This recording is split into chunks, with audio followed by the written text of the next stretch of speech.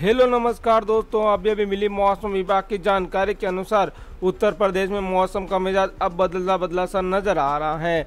अभी तक लखनऊ समेत कई जिलों में बहुत तेज बारिश हो रही थी, लेकिन कई दिनों से तेज बारिश का सिलसिला थम गया है। अब छिटपुट बारिश होने के बाद उमस बढ़ने लगी है जैसे आम लोगों को काफ़ी दिक्कतों का सामना करना पड़ रहा है।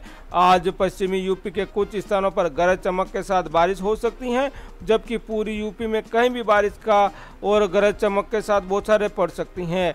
वहीं इस दौरान दोनों हिस्सों में कहीं कहीं पर बादल गरजने और बिजली गिरने के भी आसार मौसम विभाग ने जताए हैं। वहीं बीते दिन दोस्तों, कल यूपी के 12 जिलों में हल्की बूंदाबांदी देखने को मिली थी और बाकी के अन्य जिलों में धूप और उमस भरी गर्मी पूरे दिन लोगों को सताती रही है।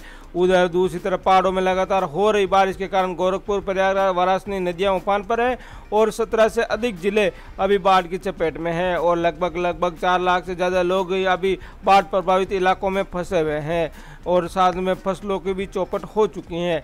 तो आज किन किन जिलों के अंदर बारिश होगी किन किन जिलों के अंदर नहीं, कल कहाँ कहाँ बारिश हुई है, इन सब की जानकारी मैं आपको इस वीडियो में देने वाला हूँ।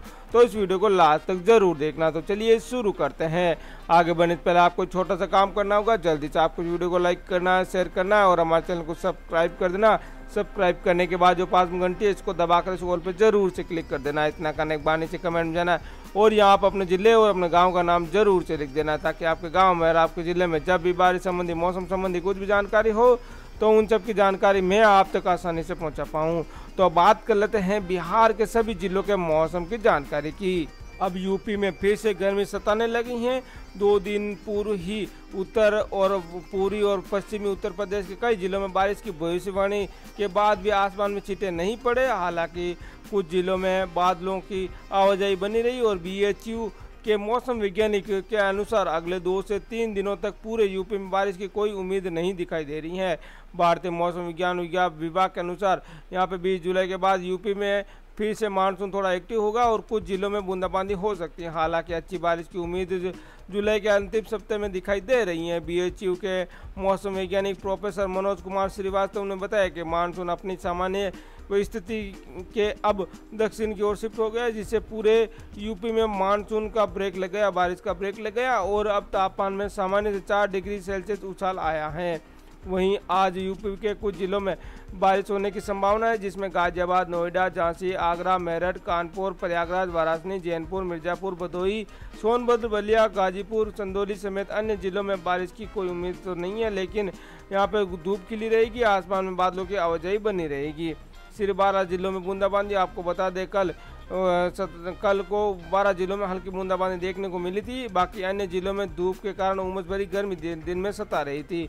वहीं दूसरी तरफ़ पहाड़ों में हो रही लगातार बारिश के कारण गोरखपुर, प्रयागराज और वाराणसी की नदियाँ उफान पर हैं। वहीं आज गोरखपुर संत कबीर नगर, बस्ती कुशीनगर महाराजगंज सिद्धार्थ नगर गोंडा, बलरामपुर श्रीवस्ती बहराइच, लखीमपुर गिरी सीतापुर ज़िले में बादल गरज ने बिजली चमकने की संभावना। इसी के साथ ही फारूकाबाद लखनऊ, बाराबंकी, अमेठी, अयोध्या, अंबेडकर नगर, सहारनपुर, शामली, मुजफ्फरनगर बागपत, मेरठ, गाजियाबाद में भी बादल गरजने व बिजली चमकने के आसार जताए जा रहे हैं। इस अवधि में हापुड़, गौतम बुद्ध नगर, बुलंदशहर, अलीगढ़, मथुरा, हाथरस, आगरा, फिरोजाबाद, बिजनौर, मुरादाबाद, रामपुर, बरेली, पीलीभीत, शाहजहाँपुर और आसपास के क्षेत्रों में बादल गरजने व बिजली गिरने की संभावना है। वहीं कल पश्चिमी और पूरी यूपी के कुछ स्थानों पर गरज चमक के साथ बारिश हो सकती है। वहीं इस दौरान दोनों हिस्सों में कहीं कहीं बादल गरजने व बिजली चमकने गिरने की संभावना है। वहीं परसों प्रदेश के दोनों हिस्सों में कुछ स्थानों पर गरज चमक के साथ बारिश होने की संभावना मौसम विभाग ने जताई है। वहीं यूपी में तीन दिन तक मानसून का ब्रेक लगा है। वहीं कल 20 जिलों में महज 0.2 एम बारिश हुई है। तिरसठ शहरों में बारिश की एक बूंद भी नहीं गिरी है और आने वाले दो तीन दिनों के बाद मानसून फिर से सक्रियता बढ़ेगी। गोरखपुर, वाराणसी समेत 20 से ज़्यादा ज़िले बाढ़ जैसे हालात हैं और 20 लाख से ज़्यादा लोग प्रभावित है। 24 घंटों में बारिश से जुड़ी घटनाओं में 10 लोगों की मौत हो गई है। गोरखपुर के राप्ती नदी जो है, खतरे के निशान से ऊपर बह रही है और साठ से ज़्यादा गाँव डूब गए हैं।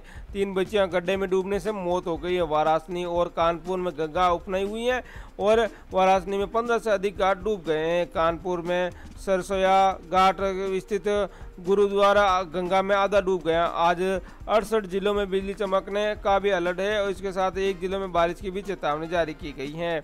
मानसून के ब्रेक लगने से यूपी में गर्मी बढ़ने लगी है और पारा उनचालीस डिग्री तक पहुँच गया तेज धूप चुभन चुभ रही है और जून जैसी कंडीशन बन गई है।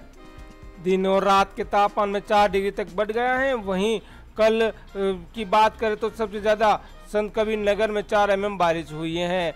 वहीं प्रदेश में एक जून से अब तक नॉर्मल से दो परसेंट ज़्यादा बारिश हो चुकी है। सैंतालीस जिलों में दो मिलीलीटर बारिश हो चुकी है, जबकि औसत बारिश दो मिलीलीटर है। आगरा, यूपी का सबसे गर्म जिला रहा। है यहाँ का अधिकतम तापमान अड़तीस डिग्री सेल्सियस दर्ज किया गया है और इसके बाद प्रयागराज का तापमान सैंतीस डिग्री सेल्सियस दर्ज किया गया है। वहीं कई जिलों में बाढ़ के हालात बने हुए हैं। और यहाँ पर अड़तीस जिलों में बिजली चमकने के अलर्ट जारी किए गए हैं, जिसमें गोरखपुर संत कबीर नगर, बस्ती कुशीनगर, महाराजगंज सिद्धार्थनगर गोंडा, बलरामपुर, श्रीबस्ती, बहराइच, लखीमपुर, खीरी, सीता, सीतापुर, फारुखाबाद, लखनऊ, बाराबंकी, अमेठी, अयोध्या अंबेडकर नगर, सहारनपुर, शामली, मुजफ्फरनगर, बागपत, मेरठ, गाजियाबाद, हापुड़ गौतम बुद्ध नगर, बुलंदशहर, अलीगढ़, मथुरा, हाथरस, आगरा, फिरोजाबाद, बिजनौर मुरादाबाद, रामपुर, बरेली और पीलीभीत। इन जिलों के अंदर ऑरेंज अलर्ट येलो अलर्ट जारी किया गया और यहाँ पे बारिश हो सकती है। वहीं सहारनपुर के बरसाती नदी का जल स्तर अचानक बढ़ गया। इसके कारण सकम्बरी मंदिर के दर्शन करने वाले भक्तों को आने जाने में काफ़ी मुश्किलों का सामना करना पड़ा है। गोरखपुर में बाढ़ जैसे हालात हैं और आते खतरे के निशान के पार कर गए। आसपास के इलाकों में पानी घुस गया और सड़कों पर नावें चलने स्टार्ट हो गई। कानपुर में गंगा नदी उपनाई है।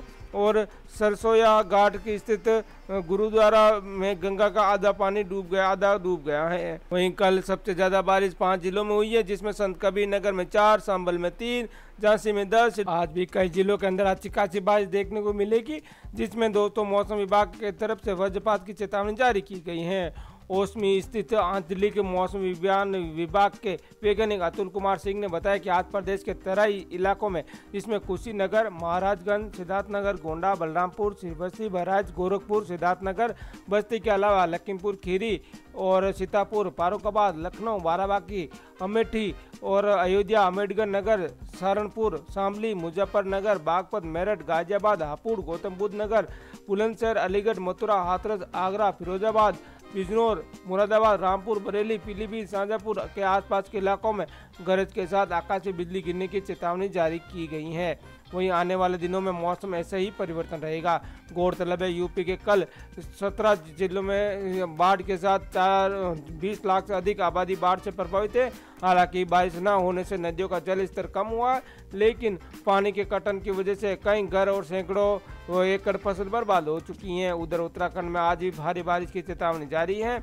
इस वजह से आने वाले दिनों मैदानी इलाकों में बाढ़ का खतरा उत्पन्न हो सकता है।